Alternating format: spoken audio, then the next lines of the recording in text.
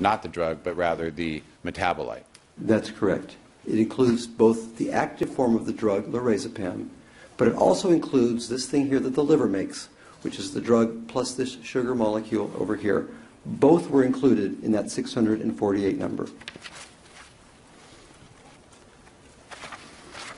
And why was it that you were seeking out this uh, standard operations procedure from Pacific Toxicology?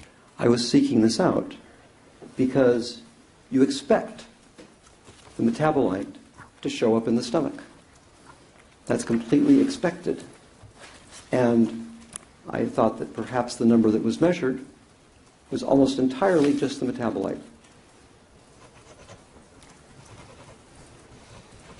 Which means the 634 nanograms per milliliter, if you're looking just at the drug, um, would be an inflated number. Substantially inflated, yes.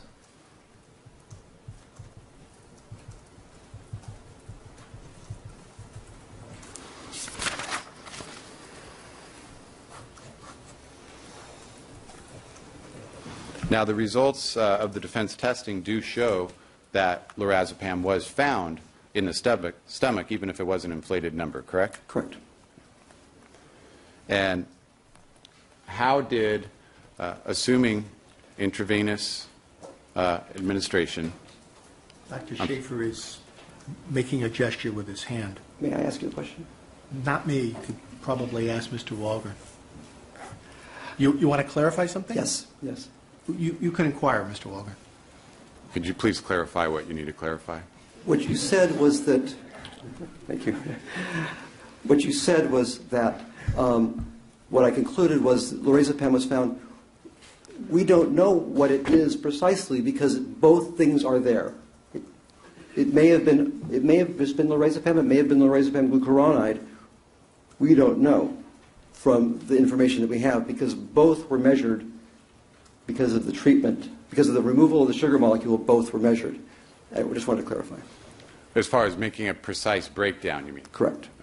But you, you would, based on the science and the literature and what lorazepam does as far as a pharmacokinetic modeling, you know there's glucuronide included in that number of 634 Yes, absolutely. nanograms per milliliter. Yes. But the Pacific toxicology results don't differentiate. So as far as ascribing a particular number to both the drug and the glucuronide, we don't have that information. Correct.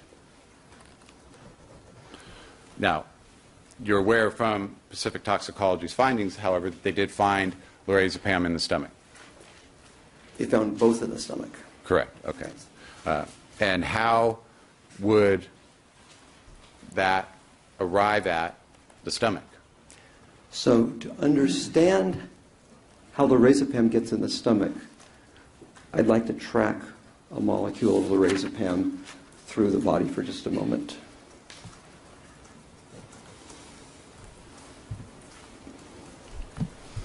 Going to this slide, can, is this, uh, Again, to orient, this is the same slide that I showed Your before. Honor, could we dim the lights, please? Just the third. Thank you. Please. This is the esophagus coming into the stomach. We have here the liver, and we have the gallbladder up here, and the portal circulation all appears here. This is the esophagus, this is the stomach, the small intestine, and the large intestine.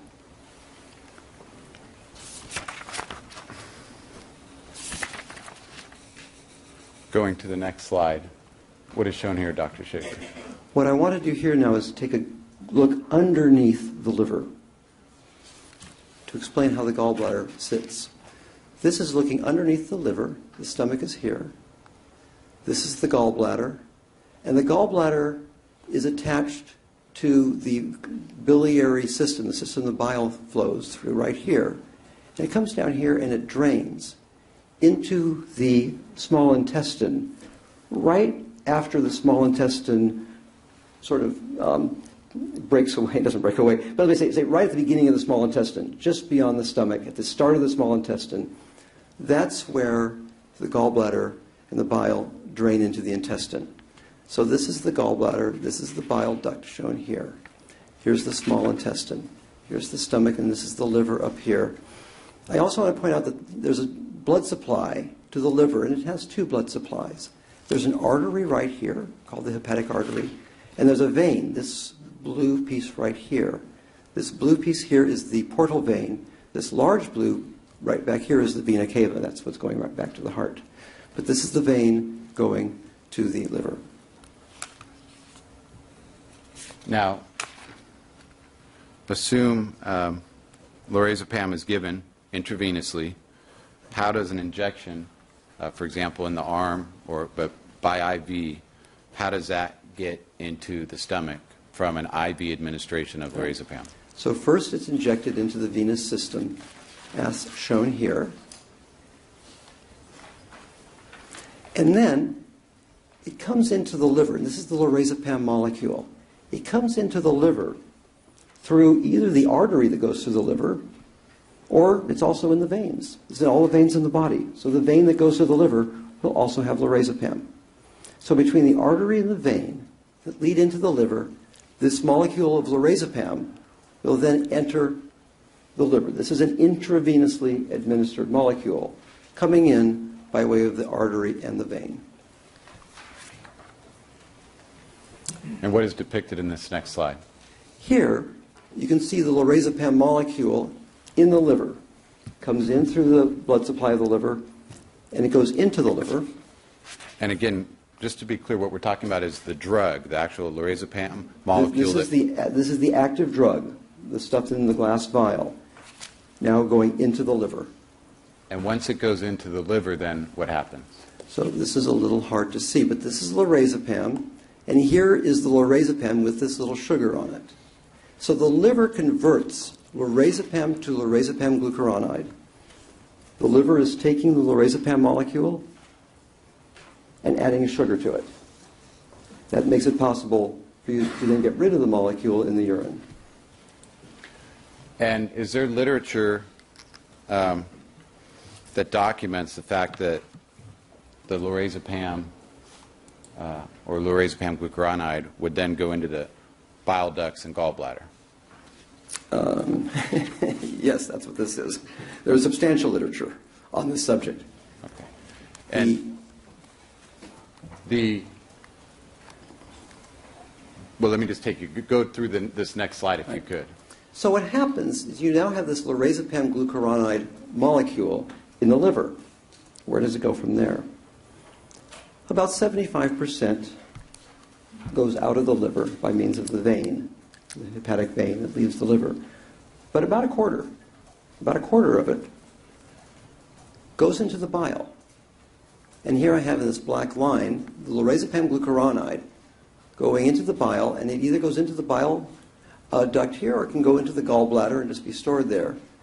But 25, about, about a quarter of it does not go out in the vein, it goes into the bile, as shown here. And the bile then drains it right into the intestine at the junction between the stomach and the small intestine. And then from there, can you describe how, uh, if you take lorazepam via IV administration, how it would then end up in the stomach? It, slosh may not be a very medical sounding word, but it sloshes into the stomach. The bile's coming in there. Most of it goes um, down into the small intestine, but uh, some sloshes back into the stomach. That's, that's why vomit is green. Sorry to put it that way, but that's the reason. And so these are showing the lorazepam molecule being distributed throughout the stomach. But it's lorazepam glucuronide. It's the metabolite that has been created by the liver that then sloshes into the stomach as part of the bile. And the rest? And then the rest, can see here, I've tried to put the little molecules coming down here. The rest flows down the small intestine and into the colon. So 25%, a large amount of the lorazepam is converted to lorazepam. Lorazepam is converted to lorazepam glucuronide. 25% of that goes into the bile, and from there it goes right into the intestinal tract. So that, would, that includes a fair amount of drug being delivered directly to the stomach, but the drug being lorazepam glucuronide.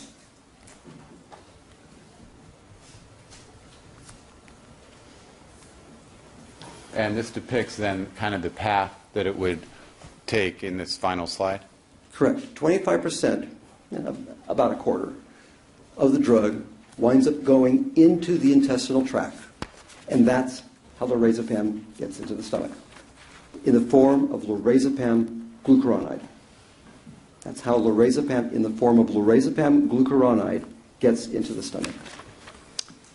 Then, based on your understanding of pharmacokinetics uh, and in this field, is it expected to find, to get a positive reading uh, for lorazepam in the stomach? 100%. Okay. That's an expected result. Absolutely. And again, an expected result uh, with the administration being via IV administration. Correct.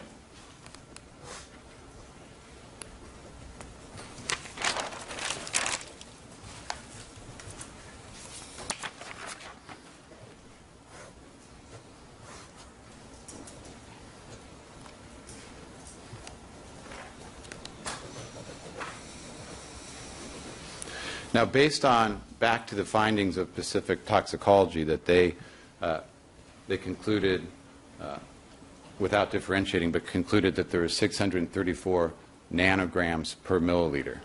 Uh, That result, just, let's just take that result standing on its own, 634 nanograms per milliliter. Uh, Did you calculate that out to be .047 milligrams? Correct. There's only, if you take the concentration and multiply it by how much fluid there was, it winds up being this rather trivial amount of lorazepam.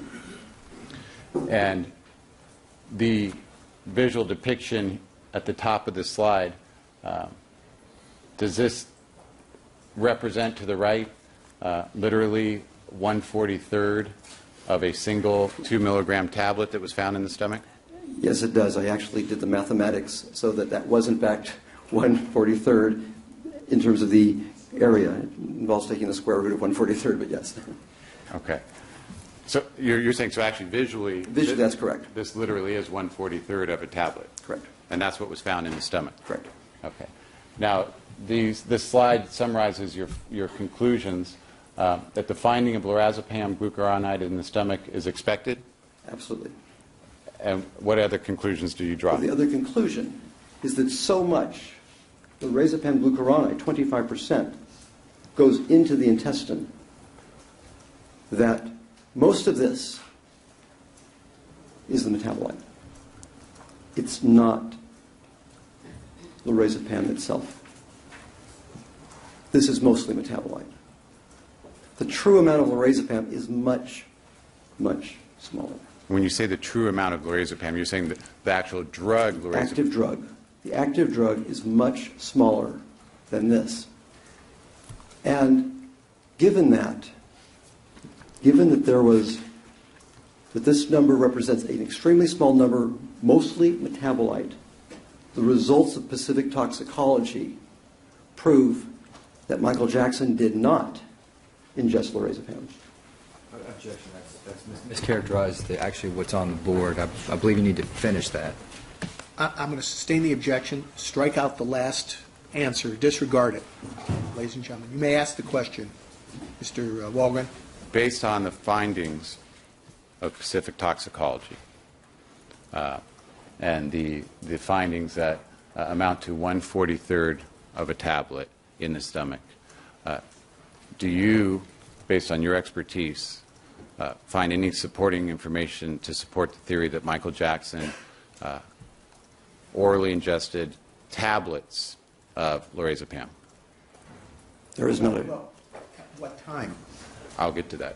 Thank you. Well, I would- think you got to put that in the uh, uh, hypothetical, so, in the opinion. So the partial answer is stricken, disregard. We asked, Which, what time period are you talking about? in the time period for several hours prior to his death, Okay. So for several, what several hours? six hours.